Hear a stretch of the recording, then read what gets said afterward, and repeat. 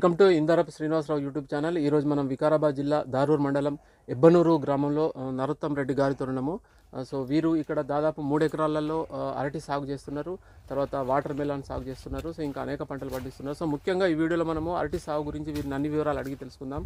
So అరటి సాగు చేసే రైతులు లేదా కొత్తగా వేసే రైతులు ఈ అరటి సాగు చేసేటప్పుడు ఎటువంటి జాగ్రత్తలు తీసుకోవాలి? ఇందులో ఎటువంటి పెట్టుబడి ఎంత ఉంది? లాభం ఎంత ఉంది? ఎటువంటి సస్యరక్షణ చర్యలు తీసుకోవాలి? అన్ని వీరి యొక్క అనుభవాలను మనం ఈ వీడియోలో తెలు తెలుసుకోవడానికి ప్రయత్నం చేద్దాం. నమస్తే అండి.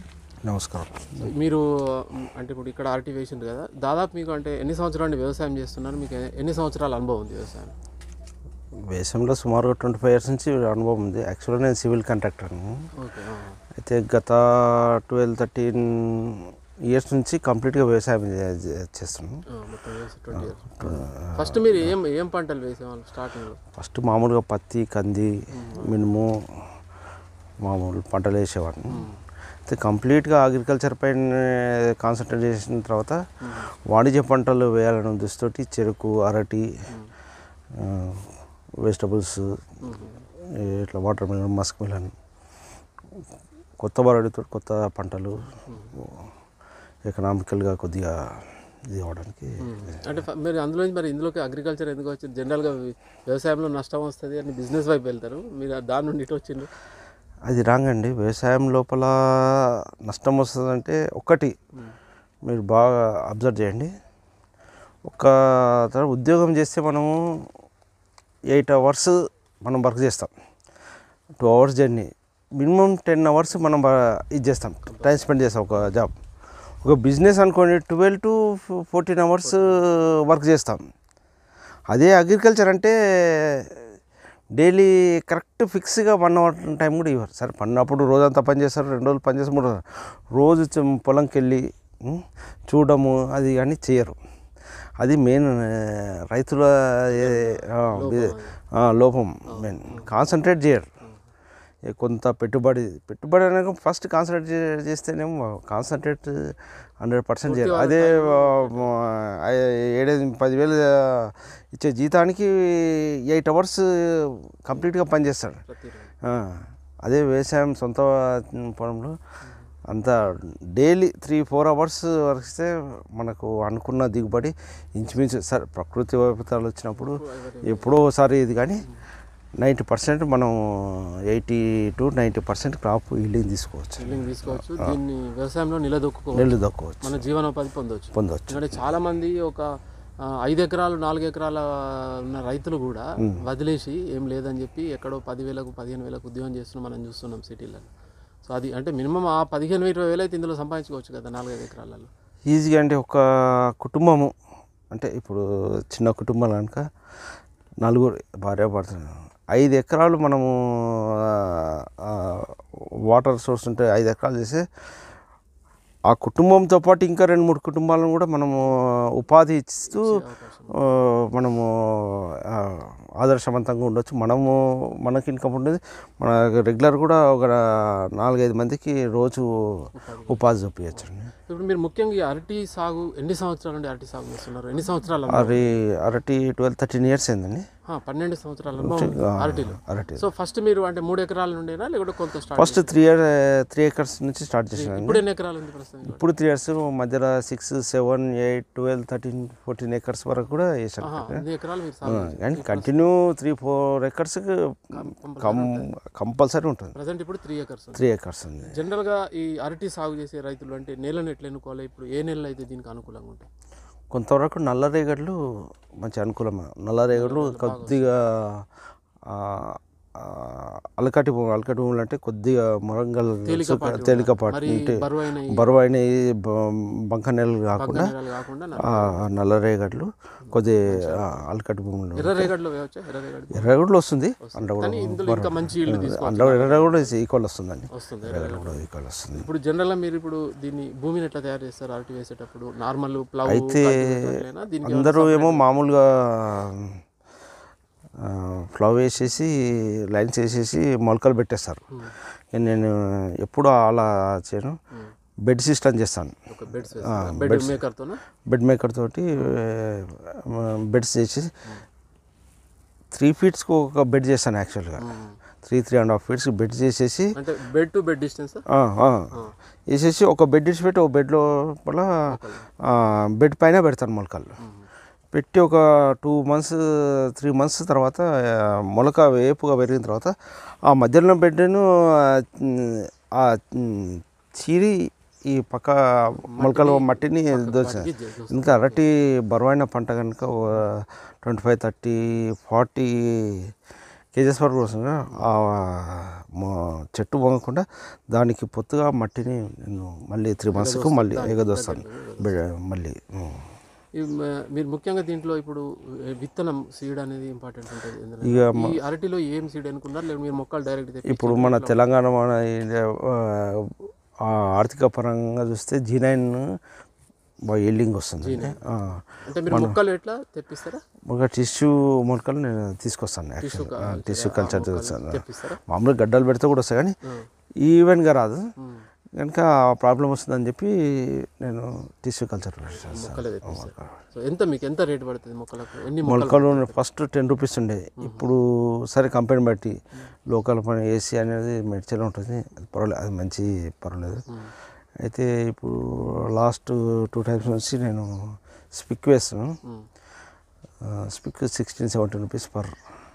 ఒక మొలక వస్తుంది. ఇప్పుడు ఎన్ని పడతాయి ఇక్కడ ఇది డిఫరెంట్ అండి. ఇది ఇప్పుడు స్పేస్ బట్టి ఉంటుంది జనరల్గా అందరు హై డెన్సిటీ అంటారు కొందరు అయితే సాల్ సాల్ మధ్యలో సిక్స్ ఫీట్స్ మొలక మొలక మధ్యలో ఫైవ్ ఫీట్స్ ఫోర్ ఫైవ్ పెట్టేస్తే మనకు పద్నాలుగు వందల యాభై మొలకలు పడతాయండి. సిక్స్ బై సిక్స్ పెడితే ట్వెల్వ్ హండ్రెడ్ పడతాయండి. సెవెన్ బై ఫోర్ పెడితే ఫోర్టీన్ ఫోర్టీన్ ఫిఫ్టీ పడతాయండి.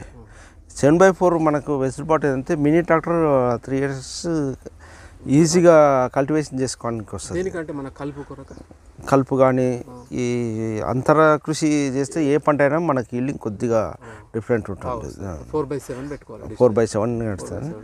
అయితే ఇప్పుడు హై డెన్సిటీ వచ్చింది. ఫైవ్ బై ఫైవ్ పెడితే ఇంకొక వంద మొలకలు ఎక్కువ పెడతారు ఫిఫ్టీ చేంజ్ వస్తుంది. సిక్స్టీన్ హండ్రెడ్ దానికి వస్తుంది.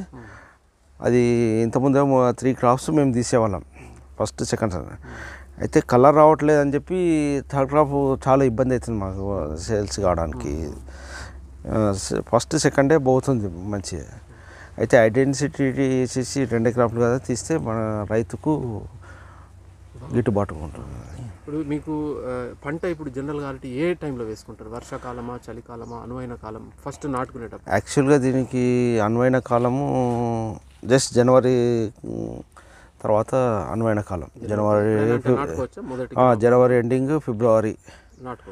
నాటుకుంటే మంచి మళ్ళీ మనము జూన్లో కూడా పెట్టుకోవచ్చండి. కానీ కొత్త వేసే రైతులు మాత్రం ఫిబ్రవరిలో పెట్టుకోవాలి. లేకపోతే జూన్లో వేస్తే గెలలు మళ్ళీ ఏప్రిల్ మేలో వస్తాయి. వడగాడుపులు వడగానులు పడితే జర చెట్లు డ్యామేజ్ అవుతాయి జనవరి ఫిబ్రవరి. అయితే ఇంకొక మెయిన్ ఆగస్ట్ సెప్టెంబర్లో పెడితే ఇంకా బాగుంటుంది. కానీ చలికి ఇది ఉష్ణమండల పంట అండి ఇది. అరటి చలి మొలక తట్టుకోదు. మాడిపోయినట్లు అవుతుంది. కాబట్టి జనవరి ఫిబ్రవరి కరెక్ట్. అది పాత వాళ్ళు అంటే మాత్రం మేము కొద్దిగా కవర్ కవర్ చేసుకుంటాం జనవరి ఫిబ్రవరి ప్లాన్ ముఖ్యంగా మీరు ఈ భూమిని తయారు చేసినప్పటి కానీ పంట కాలంలో ఎరువులను ఏ విధంగా ఏ ఎరువులు వేస్తారు? ఎంత వేస్తారు ఎకరకు ఒక లారీ ఎరువు వస్తామండి. అది ఫిఫ్టీ పర్సెంట్ పశువుల ఎరువు ఫిఫ్టీ పర్సెంట్ రెండు పాలు పశువుల ఎరువు ఒక పాలు కోడెరువు అండి. కలిపి దుక్కిలోనే? దిక్కులోనే వేసేసి తర్వాత ప్రతి ఈ సాల్బుల్స్ ఎక్కిస్తామండి ఎక్కువ మటుకు. Water water soluble. నీట NPK. ఎన్పికి. డ్రిప్ ద్వారా ఇస్తారా? డ్రిప్ ద్వారా వీక్లీ ఎక్కువ మటుకు ఏమండి వేరు జనరల్గా ఎన్పీకేలు ఇస్తారు. NPK ఏమేమి ఇస్తారు ఎన్పీకేలు జనరల్గా? మూడు triple nineteen triple nineteen triple nineteen స్టార్టింగ్లో త్రిబుల్ నైన్టీన్ ఇచ్చామండి. తర్వాత? తర్వాత గెల వేసిన తర్వాత thirteen zero forty five forty five last గెల పూర్తి ఎండింగ్కి వచ్చిన తర్వాత జీరో జీరో ఫిఫ్టీ ఎందుకంటే పొటాష్ ఎక్కువ ఉంటుంది కాబట్టి పొటాష్ ఆ కాయ మన కాయ సైజు రావాలంటే కాబట్టి పొటాష్ దాన్ని బట్టి మనం దాన్ని బట్టి ఒక దాంతోపాటు నేను జీవామృతము కూడా జీవామృతం కూడా ఆ, జీవామృతం అంటే కంప్లీట్ ఆర్గానిక్ ఆ, వాడతాను. అదే కొద్దిగా ఇంకోటి నీమ్ ఆయిల్ నేను సొంతంగా తయారు చేసి నీమ్ ఆయిల్ కొడతాను. జీవామృతం కూడా అప్పుడప్పుడు పోస్తుంటాను. మంత్లీ వీటిలో ఈ ముఖ్యంగా అరటి పంటలో వచ్చే తెగుళ్ళు తక్కువ తెగుళ్ళు అంటారు. తగు- తెగుళ్ళు చాలా తెగులు తక్కువ అండి దీనికి వచ్చేది ఒకటే తెగులు సిగటోగానే ఆహా. వేరే తెగులు అని వేరే అంటారు కానీ నాకు ఎప్పుడు ఎన్ని ఎప్పుడు కనవలే సిగటోగా ఈ సిగటోగా ఎప్పుడు వస్తుందంటే వర్షాలు ఎక్కువై భూమి మన పంటలో నీళ్ళు నిలిస్తే వస్తుందండి. దానికి అందుకే వీలైనంత వరకు నీళ్ళు నిలవకుండా చూసుకోవాలి. ఆ, ఈ బెడ్ మేకింగ్ సిస్టమ్ చేస్తే ఏమిందంటే కాలువలు ఉంటాయి కనుక వెళ్ళిపోతాయి. ఈజీగా వెళ్ళిపోతాయి కనుక రావడానికి ఛాన్స్. వస్తే కూడా దానికి ఏంటంటే ప్రికాషన్గా అమిస్టార్ ఫంగిసైడ్ స్కోర్ ఇవి కొట్టేస్తే స్కోర్ ఫంగిసైడ్ ఒక రెండు సార్లు స్ప్రే చేస్తే నైంటీ పర్సెంట్ కంట్రోల్ దీనికి మెయిన్ చలికి తట్టుకోదండి. చలికి పొటాష్ డిఫిషియన్సీ వస్తుంది. ఇక అప్పుడు జర ఎక్కువ వల్ల అప్పుడప్పుడు స్ప్రే కూడా చేయాల్సి వస్తుంది. పొటాష్ స్ప్రే చేస్తే కొద్దిగా ఈ డిసీజ్ ఎక్కువ అయితే తెగుళ్ళు అయితే దీనికి. మీకు క్రాప్ మొక్క మొలక నాటిన తర్వాత నుండి మనకు ఇప్పుడు ఎన్ని రోజులకు మన క్రాప్ అనేది ఫస్ట్ క్రాప్ ఎన్ని రోజులకు తీసుకుంటే దీని పంట కాలం ఎప్పటి వరకు ఉంటుంది మొత్తం దీని? First crop ten eleven months start అవుతుంది. టెన్ మంత్కు మనం గెలక్ స్టార్ట్ గల స్టార్ట్ అవుతుంది. అంటే మనం ఇచ్చే బలం బట్టి నేల స్వభావం నేల స్వభావం మీదకి వెళ్ళి ten eleven twelve months thirteen months fourteen months కూడా మనకు దీని డ్యూరేషన్ ఇప్పుడు మొక్క నాటినాం అది ఎప్పటి వరకు ఉంటుంది? వన్ ఇయర్ ఇది వన్ ఇయర్ క్రాప్ అండి. వన్ ఇయరేనా? One year. అంటే దీన్ని సెకండ్ క్రాప్ తీయాలంటే గెల ఇడిచినప్పుడు ఒక చిన్న మొలక అండి ఇలాంటి మొలక ఉంటుంది చిన్న ఉంటుంది. ఇలాంటి మొలకను ఇప్పుడు గెల ఇడవగానే ఒక మొలకను మిగతా తీసి ఒక పిల్లని ఇవ్వాలి సెకండ్ క్రాప్ సెకండ్ క్రాప్కి వస్తుంది. అంటే ఫస్ట్ మనం నాటిన మొలక ఒకటే క్రాప్ ఒకటే లెవెన్ ట్వెల్వ్ మంత్స్ తర్వాత పక్క దాన్ని ఆ, అది నైన్ టెన్ మంత్స్కి వస్తుంది సెకండ్ క్రాప్ సెకండ్ సెకండ్ ఎందుకంటే గడ్డ ఇట్లా అంతా ఉంటుంది కండి ఏం లేదు గెల కోసిన తర్వాత తల కొట్టేస్తే అయిపోతుంది తల ఇది. ఉందండి ఈ చెట్టు? ఈ తల ఇట్లా గెల కోసిన తర్వాత తల కొట్టేసేస్తే దాని దానివల్ల ఏంటంటే మేము చిన్న ఉన్నప్పుడు మా తాతగారు వేసేవారు. వాళ్ళు ఈ మొద్దులన్నీ బయటికి మోసేవారు. ఏది గెల కొట్టేసిన తర్వాత. ఇప్పుడు అది అవసరం లేదు. తల కొట్టేసి అది గ్రోత్ ఉండదు. కింద పిల్ల ఇడుస్తాం ఇట్లాంటి పిల్ల ఇడుస్తాం కదా అది పెరుగుతుంది. అయితే దీనికి పిల్లకి ఏంటంటే దీనిలో ఉన్న సారం అంతా ఒకటే గడ్డ. ఇది ఇది తల్లి పిల్లది ఒకటే గడ్డ ఉంటుంది కింద. కనుక దీనిలో ఉన్న సారం అంతా ఇది తీసేసుకుంటాం ఇంకోటి మనకు ఖర్చు ఖర్చు తగ్గుతుంది. ఇంకోటి అంతా ఈ వేస్టేజ్ అంతా ఇక చూడండి. మనకు మల్చింగ్ చేసినట్టు గడ్డి రాదు. ఇంకోటి ఎరువు మనకు సో నెక్స్ట్ ఇప్పుడు మీకు ఇది మీకు nine ten months eleven one month అటు ఇటు క్రాప్ స్టార్ట్ అవుతుంది. ఫస్ట్ క్రాప్ తీసుకుంటారు. తర్వాత పక్క నుండి మళ్ళీ మన క్రాప్ తీసుకుంటే సెకండ్ రెండు క్రాపులు తీసుకోవచ్చు. రెండు మూడు తీసుకోవచ్చండి. రెండు మూడు. కూడా తీసుకోవచ్చు. మూడు ఈజీగా తీసుకోవచ్చు. మూడు క్రాపులు తీసుకో మీకు ఫస్ట్ కటింగ్లో మనకు ఎంత దిగుబడి ఎంత వస్తుంది? స్టార్టింగ్లో ఎన్ని క్వింటాల దిగుబడి వస్తుంది? ఇప్పుడు ట్వంటీ కేజెస్ నుంచి థర్టీ ఫైవ్ కేజెస్ ఉందండి ఒక గెల. ఒక గెల ఒక గెల. మనకు average twenty five last time నాకు థర్టీ థర్టీ అబోవ్ వచ్చింది థర్టీ టన్స్ అబోవ్ వచ్చింది per acre. Average thirty tons వచ్చిందా? థర్టీ క్రాస్ అయింది. థర్టీ క్రాస్ థర్టీ క్రాస్ అయింది. ఆ థర్టీ టన్స్ అంటే ఎప్పుడు వస్తుంది మనకు? ఇప్పుడు ten nine month ten month crop start అవుతుంది. ఎప్పటి వరకు ఆ మొత్తం క్రాప్ ఆ క్రాప్ ఒకటే ఒకటే క్రాప్ ఒకటేసారి మనం కట్ అయిపోతే మొత్తం ఒకటే ఒకటేసారి two three two two three months పడుతుంది టూ త్రీ మంత్స్లో మనం ఈ ముప్పై టన్నుల క్రాప్ తీసుకోవచ్చు. వన్ ఎకర్ వన్ ఎకర్ ముప్పై టన్నులు దిగుబడి తీసుకోవచ్చు. మొత్తం మీకు మూడు ఎకరాలలో దాదాపు ఒక తొంభై నుండి వంద టన్నులు వెళ్ళింది? తొంభై నుంచి వంద వంద ఈజీగా వెళ్ళిందండి. వంద ఈజీ ఇప్పుడు ఈసారి అయిపోయిందా క్రాప్ తీసి ఈసారి ఈసారి అయిపోయింది. ఇది కూడా ఎయిటీ కట్ అయిపోయింది. జస్ట్ టెన్ ఫిఫ్టీన్ పర్సెంట్ ఉంది. ఎంత వచ్చింది ఇప్పుడు ఈసారి ట్వంటీ క్రాస్ అయిందండి ట్వంటీ క్రాస్ అయింది అంతే ఈసారి వర్షాలు ఎక్కువయ్యి నాకు ఎరువు వేయలేకపోయినా. ఫస్ట్ ఎరువు వేయలేను. సెకండ్ ఏమైంది ఈ ఫర్టిగేషన్ చేయలేకపోయినా. ఎందుకంటే రోజు మనం ఫర్టిగేషన్ చేస్తే నీళ్ళ పోతుంది వేయలేను. కనుక ఇరవై టన్నులు. ఇరవై టన్నులు క్రాస్ కావచ్చు యావరేజ్ ఎంత ఎకరాన పెట్టుబడి ఎంత జనరల్గా ఇది ఫస్ట్ ఇయర్ మాత్రం వన్ ల్యాక్ వస్తుందండి. ఫస్ట్ ఇయర్ ఫస్ట్ ఇయర్ మొక్క పెట్టినప్పుడు one lakh second year second year fifty percent ఉంటుంది అంతే ఫిఫ్టీ థౌసండ్తో అయిపోతుంది. ఫస్ట్ ఇయర్ మాత్రం మనకు వన్ ల్యాక్ అంటే ఇప్పుడు ఈ ముప్పై టన్నులు ఇప్పుడు ఇరవై ఐదు ముప్పై టన్నులు మీకు ఇరవై టన్ను ఇరవై టన్నులు వచ్చింది ఇది ఎంత? మన అంటే ఫస్ట్ క్రాప్ కిందనేనా? ఒకటే క్రాప్. ఒకటే క్రాప్ ఒకటే క్రాప్ కింద ఇరవై ఐదు ముప్పై టన్నులు వస్తుంది మీకు ఫస్ట్ క్రాప్ కాబట్టి వన్ ల్యాక్ తర్వాత సెకండ్ క్రాప్కు ఫిఫ్టీ థౌసండ్ అంత ఖర్చు.